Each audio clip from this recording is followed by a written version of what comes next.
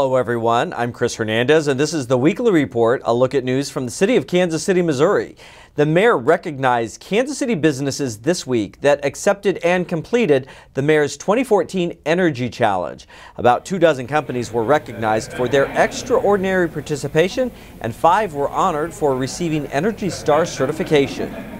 Uh, thank you for making energy efficiency a priority in this city. It, this is yet again something for Kansas City to be proud of. I mean, here we are, one more time, uh, at the front edge of, of what's going on in the country in this sector. Uh, we're not lagging behind, we're not in the middle of the pack, we're at the front end. And that's something, once again, for Kansas City and Kansas Cityans to be proud of. The city participated in a number of Earth Day events this week.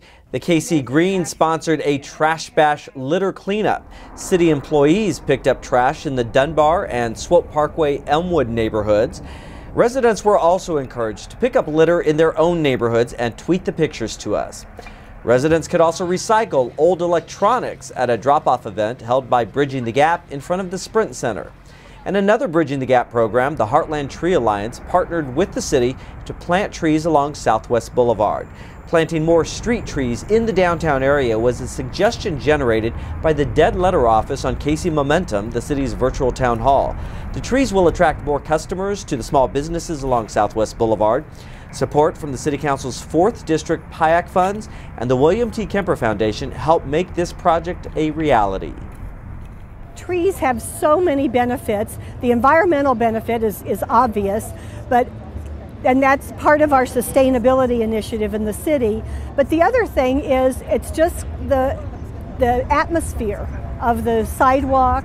If it's if it's a hot day, you want the shade of a tree. You want to be able to walk in this area and see the beauty in the spring when the buds are coming out in the summer you want the shade, but it just makes this, the community look like um, the type of place that you want to be and that you want to have a business. The 18th and Vine Student Jazz Festival was held last weekend featuring more than 50 middle, high school, and college jazz bands. It included a clinic with artist in resident Joe Locke. The event provides an opportunity for the students to learn more about jazz while gaining a deeper appreciation of Kansas City's rich jazz history. Now let's check in with some of our city's departments.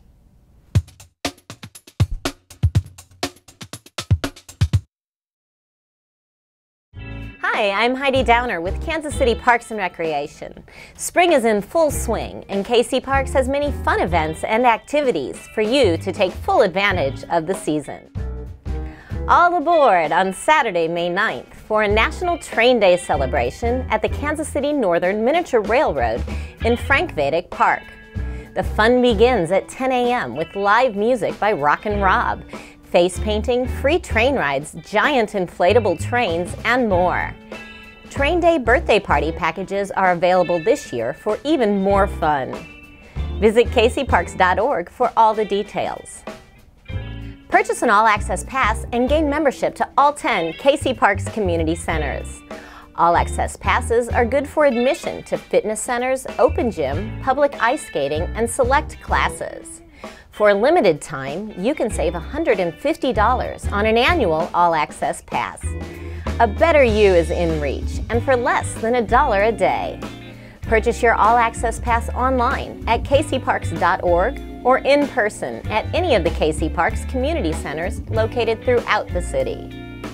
To learn about other events scheduled by Parks and Recreation, visit the department's website at kcparks.org or give us a call at 816 513 7500.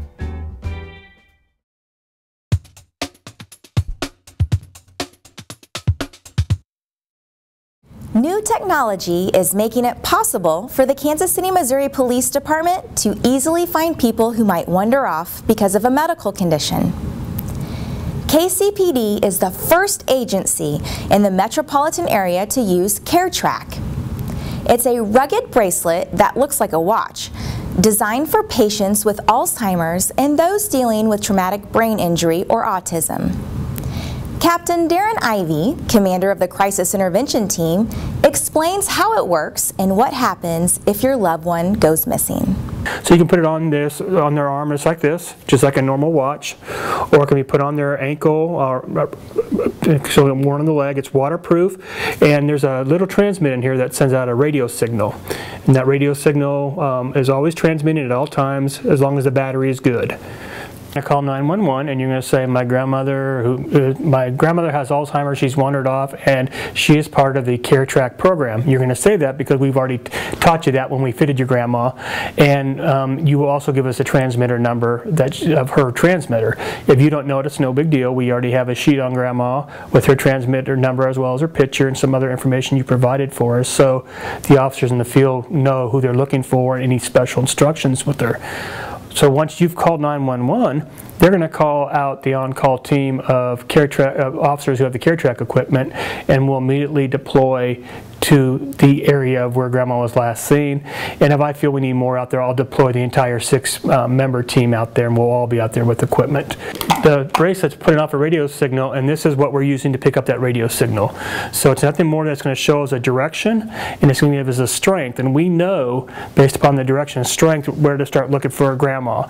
It can pick her up to, um, anywhere from a mile away if we're just on regular ground, up to five miles away if we happen to deploy in an aircraft. Thankfully, KCPD hasn't had to use it, but Captain Brad Deichler of Human Resources uses it for his own 12-year-old autistic son and calls CareTrack a lifesaver. Usually we can catch him on foot within four or five minutes. We deploy the CareTrack uh, when we can't find him in eight or nine minutes, 10 minutes. Uh, that's when we pull it out and start uh, using the device because if we can catch him on foot, that's the best way. And if we haven't been able to find him in three or four minutes, then we'll go grab that and put it together, which takes a couple of minutes. And then we, we start trying to pick up a signal. And we've probably used it, I'm going to guess, about 10 or 12 times over the last five years. If your child runs off one time and you only use it once, ever, it's worth it because the one time that they get away and you can't find them, I mean, today it's 12 degrees and the wind chill is three or four. So my son weighs 53 pounds and he's almost 12 in you know 20 25 minutes and this his body temperature is going to drop 15 degrees as skinny as he is and an hour outside as thin as he is uh, the hypothermia would get him. And there's been four or five kids in the last two years freeze to death that are autistic and a couple of times it was just 26 27 degrees but they were outside for two days. So you know they, they'll crawl up into places and you can't find them. They'll, they'll crawl underneath things trying to stay warm and if you're looking, they could literally be three or 400 feet from your house. But if you don't have something to track them, you may not ever find them. Each of the department's six patrol division stations will have a tracking unit. A dozen officers have already undergone training to use CareTrack. First of all, it saves the most important thing, time. Time is of the essence when we're searching for a senior or a child. A child could get to a dangerous situation where they're going to drown, be hit by a car. They could reach out to somebody who's not very trustworthy. So we need to find them immediately. The same with the senior. Um, if it's cold weather conditions are extremely hot and they're out wandering around, that's usually when something happens to them because they fall down or they lay down somewhere and no one finds them. This gives us the ability to find them very quickly.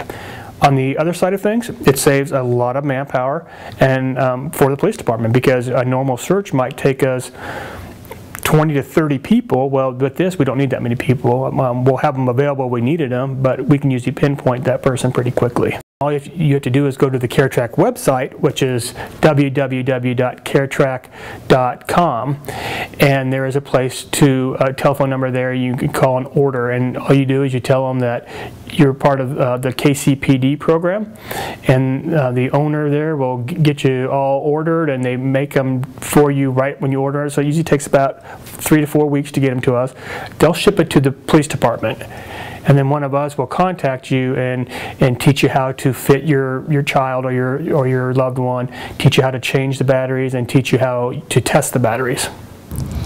KCPD is encouraging anyone with a loved one who suffers from a disease or disorder that makes them prone to wandering off to use CareTrack. Again, email kcpd at caretrack at kcpd.org if you need more information. I'm Sergeant Shelley Gaddis. Have a safe week. The City of Kansas City, Missouri is calling for nominations for its KC Green Neighborhood Recognition Program. The program recognizes neighborhoods that have implemented sustainable practices. Applications will be accepted until June 2nd. Forms are available at kcmo.gov. Just search for Neighborhood Recognition Program, or you can call 816 513 3460. The city's KC Green Initiative advances social equity, economic vitality, and environmental quality by promoting sustainable practices in projects and programs citywide. For more information about these stories, please log on to kcmo.gov and search for the weekly report. To watch this program again or other Channel 2 videos, visit our YouTube channel at youtube.com slash kcmocco. That does it for this edition of the Weekly Report. I'm Chris Hernandez. Have a great week.